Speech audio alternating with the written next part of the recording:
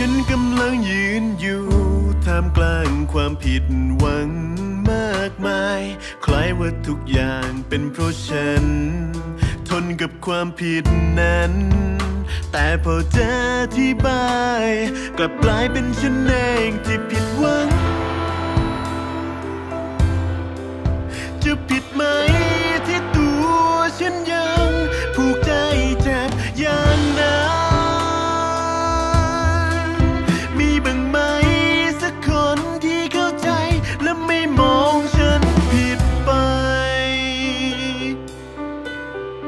เพราะว่ามันไม่มีสิ่งใดทดแทนความเจ็บที่มา จากปลายนิ้วมือของใครต่อใคร ทับถมไปด้วยถ้อยคำตอกและย้ำให้ใจ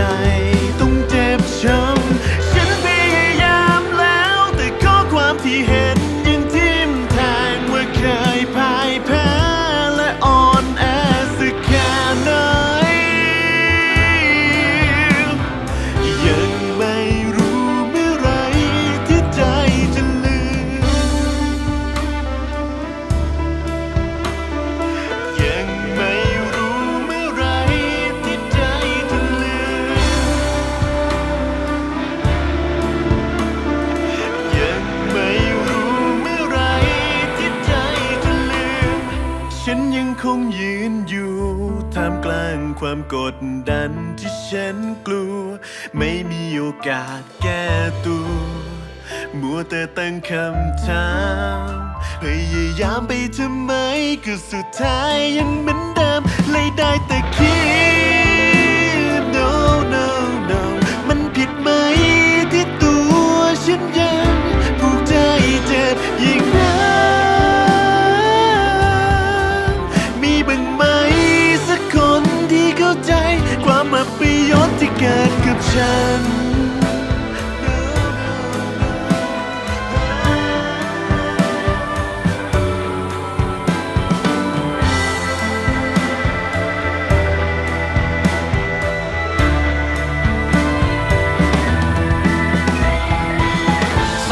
คำคอมาลายสิ้น เกิดเป็นมนทินที่ฉันไม่เคยก่อ กัดกินจิตใจไปจนท้อ ตัดพอไม่ว่าทำใครผิดหวัง ผู้ใดทำชั่วไม่ละอาย กล้าหายสักดาจงระวัง หักหลังครั้งนั้นฉันยังจำฝัง เวรกรรมจะตามมาเพื่อลงทันอย่างที่มันเคยทำกับฉัน มันไม่มี